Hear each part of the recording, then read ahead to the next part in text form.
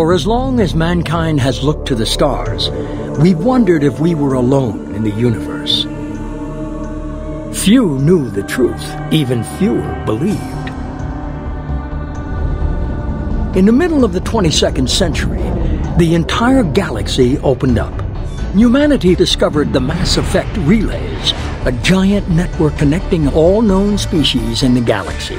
The stars were finally within reach.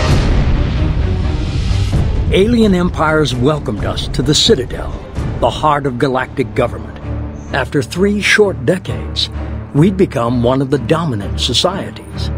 It was a golden age, but peace is not the natural order of things. You're either the predator or you're the prey. 50,000 years ago, an ancient race, the Protheans, was destroyed by a mysterious artificial intelligence known as the Reapers. Before they were wiped out, the Protheans left a message that the Reapers' cycle of destruction would repeat. One man chose to heed their warning. Shepard, I've heard a lot about you. I'm on a critical mission, and I need your help. Commander Shepard uncovered the truth. The Reapers were returning. They had built the Citadel, and all the relays leading to it. Organic life was their crop, and the time for our harvest had come. We impose order on the chaos of organic evolution.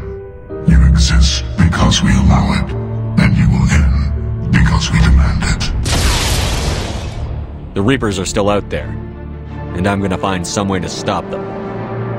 With the fate of all life hanging in the balance, Shepard launched a desperate mission to stop the Reaper invasion from dark space.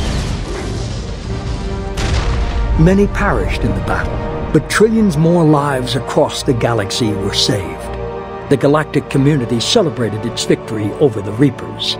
But a cautious few knew the truth. This is just the beginning. And the only thing standing between them and humanity is one person.